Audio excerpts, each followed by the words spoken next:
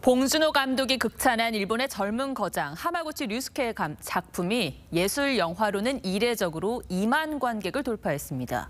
아, 세계 영화계는 이렇게 세대 교체가 성공적으로 이루어지고 있는 상황인데 국내 예술 영화 시장은 상업 영화에 밀려 꾸준히 설 자리를 잃고 있어 우려도 나옵니다. 박소영 기자입니다.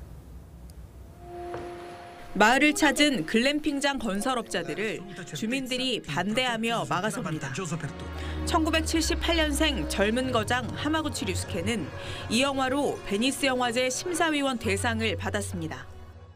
전작들로 칸과 베를린, 아카데미를 석권하며 일본 영화 위기설까지 보란 듯 잠재웠습니다. 그와 함께 투톱으로 꼽히는 1984년생 미야케 쇼 역시 베를린 영화제에 자주 초청받는 등 활약이 두드러집니다. 세계 영화계에선 세대 교체가 활발히 진행 중입니다.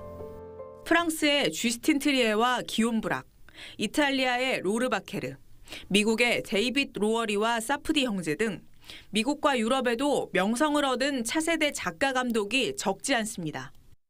하지만 우리나라에는 홍상수와 이창동의 뒤를 이을 주자가 없다는 위기감이 팽배합니다.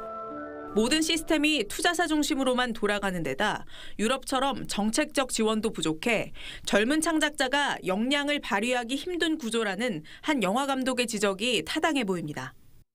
독립 영화가 더욱더 위축되고 그러면서 신의 감독들의 입지가 더 많이 줄어들었거든요. 세대 교체나 세대 계승을 하지 못하고 있는 그런 영화진흥위원회 예산은 지난해 850억에서 올해 734억으로 100억 원 넘게 줄었습니다. TV조선 박소영입니다.